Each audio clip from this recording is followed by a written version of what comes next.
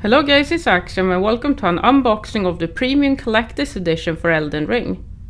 It arrived in a shipping container and in three parts, not one big Collector's Edition, but just one big brown box. So we're going to be looking at each one of them individually and I'll do my best to unbox all of the goods. We're starting with the foam packaging and inside here we're going to be finding the stand for the helmet.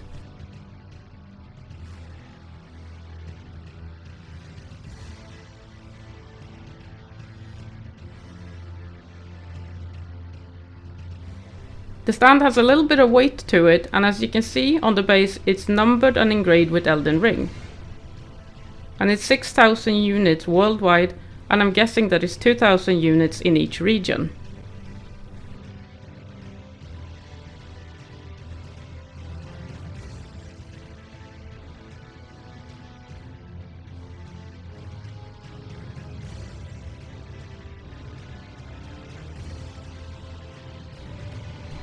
Next up we have the actual box for the helmet and it has some nice artwork around the box itself so I'm going to turn it around for you.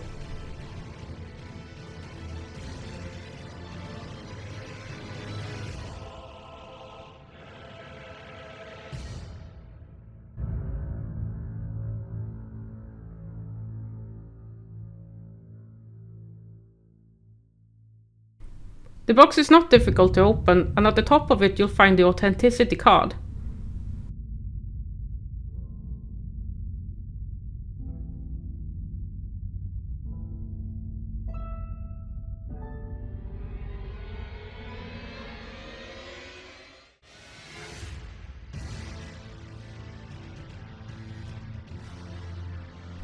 If you turn it around you'll also find instructions for the helmet.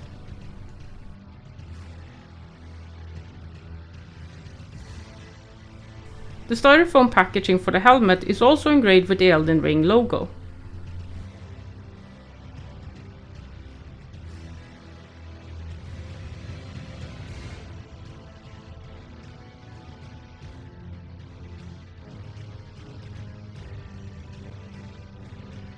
In the main compartment you'll find the helmet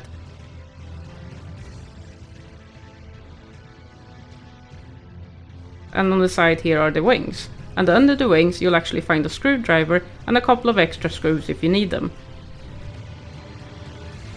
It took me a couple of minutes to screw the wings on, and it's easier if you put it in your lap and turn it upside down, or if you have another person to help you out. The details on the helmet are really nice, you can see the textures and the layers and the work that's actually gone into making this. The paint job alone must have taken quite some time, and you can see that it has some battle damage on front of the helmet. It's a very nice collectible item and I'm definitely glad that I didn't miss this out.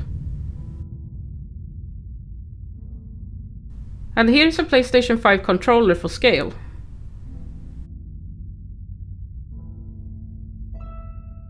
Next up we have the box that contains the figurine and you can see that it also has the Elden Ring logo on the top and artwork on front and the back. This box also contains the steel book, the art book and the other little bits that I'm going to show you. The figurine box was actually heavier than I expected and is also a bit snug so you had to tug it a little bit back and forth to try and get it out.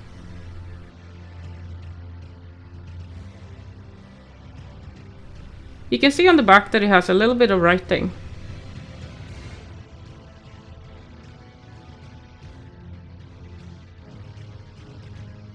The front of the box has two ends that open together and it has a magnetic connector to keep it closed.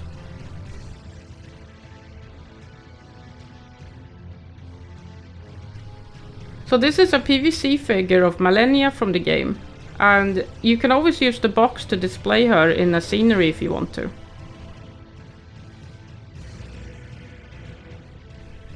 In the official artworks you can see that she's holding the blade in a unique way and she's actually holding onto the blade itself, so you want to push it further in so it's more stable.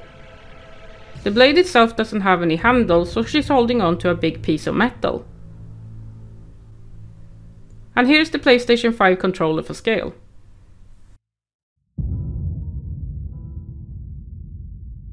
Now let's take a closer look at her so you can see the details. As you can see they've etched the blade and they're actually indented. She has a little bit of corruption going on on her neck, on her face as well if you look a little bit under the mask. Turning her around you can see that she has the Elden Ring 3 on her back on the cloak. And she has gradient going on in the hair. It's a nicely detailed figurine and I'm really happy with it because I have all the other ones from the Soul series.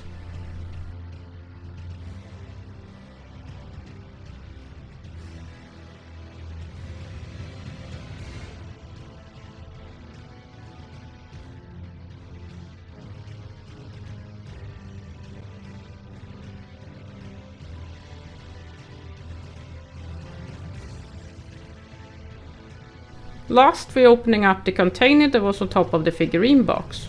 And the first thing you see here is the art book. If you don't want to bend the edges, I would suggest that you tilt it to be able to get it out. The edge is also a little bit flimsy, so be careful so it doesn't come off. And here is the art book of Elden Ring, which I'm not actually going to open, I'd like to keep it sealed, so I'm sorry about that.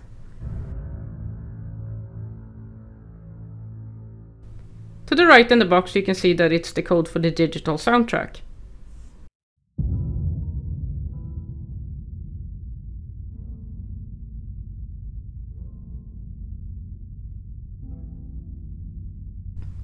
In this envelope you'll find art cards and I think that these are stickers.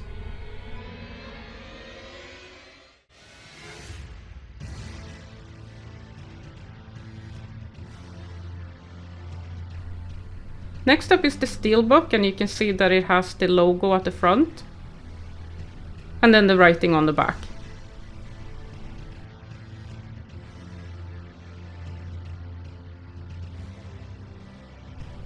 Opening it up you can see it's the artwork of the tree in the game. And here you can see it properly on the other side.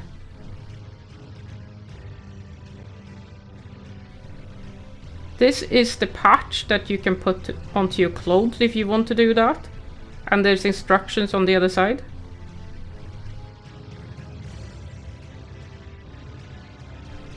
And last but not least, this is the Steam code which I removed from the inside so I could show you what it looks like.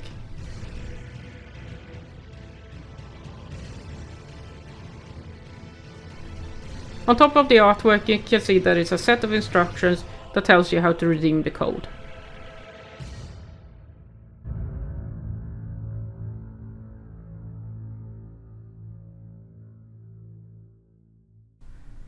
And there we have it guys, the premium collector's edition of Elden Ring. The Dark Souls 3 Prestige Edition did come with a resin statue which is obviously quite a bit more expensive, but the helmet in this edition is nice and it's different. I hope you guys enjoyed this video and if you did feel free to leave a like and subscribe for more content. Thank you for watching.